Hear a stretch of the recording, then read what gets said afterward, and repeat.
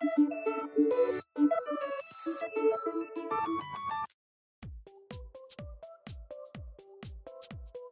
んにちは。こんにちは。池田しおりです。渡辺です。はい。今日はえっと、はい。小西さんではなく私で試してみたんです。びっくりしたよね。僕かなと思いますよね。僕でやられるのかなみたいな。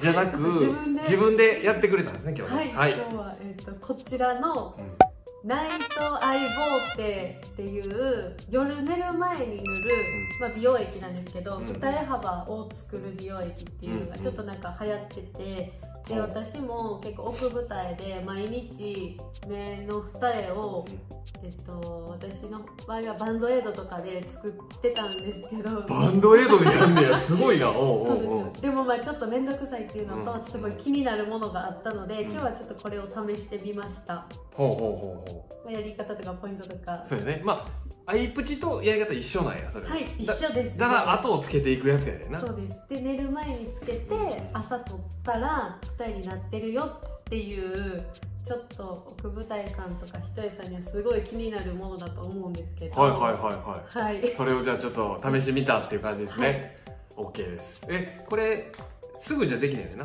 もえー、すぐっていうすぐっていうかもう。1日ではならなうならないんで多分何日か試さなあかんねんな。そうです。なんで多分この動画では、まあ、やり方。でちょっと、まあ、一日一日の工程をちょっと載せれないかもしれないですけど、まあ、どうなってるいくか。ガチでじゃあまあ1週間やったら1週間、はい。まあ、ちょっと本当は1ヶ月2ヶ月やけど人によっては。1週間ぐらいでなってるかっていうのをちょっと検証していきたいと。はい言ってたんで、はい、ぜひちょっと皆さんこう二重幅ね、はい。やりたい人参考にしてみてください。はい。じゃあお願いします、それでは動画スタート。あれ？今日はこれを使っていきます。夜用のアイプチというか二重のりなので今、えっと、目の周りは何もメイクをしてない状態になりますで実際につける前にもう一度、えっと、汚れがないかと、えっと、油分があるとちょっとこうアイプチする時に邪魔になってしまうのでしっかりタオルとか、まあ、ティッシュとかで綺麗に拭いてからスタートします。はじめに二重幅を決めていきます。二重幅はえっと欲張って上の方に大きく作るのではなくて少しずつ幅を広げていくイメージなので最初は私の場合だったら、えっと、こちらの目に合わせて二重幅を、えっと、作っていくんですけど本当に少し今ある線の少し上ぐらいこのぐらいで作っていきます。実際に塗っていきます。取ったらちょっとひたひたの状態なので縁で取ってあげてからさっき作った幅。私の場合だったらこの二重幅の少し上に塗っていきます。でその時にあんまりびちょびちょに塗るっていうよりかは少し薄めに塗ってあげた方が綺麗に仕上がります。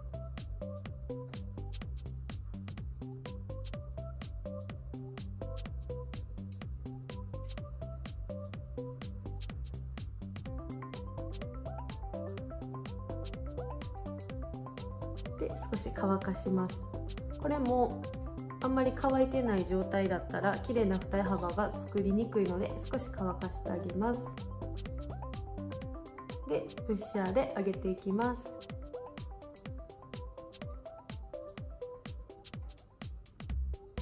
でこの時にプッシャーをすぐ離すのではなく少しこの肩で時間を止めてから離します。ポイントは中央で作って目尻側で後をつけるのがポイントです、はい、こんな感じです。はいこれで仕上がりました。とすごい大きな幅ではないんですけどさりげなく二重になったのがわかるかなと思います。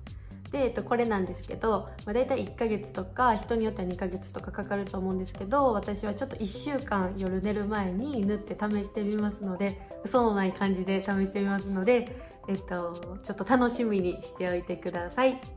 さよならありがとうございます。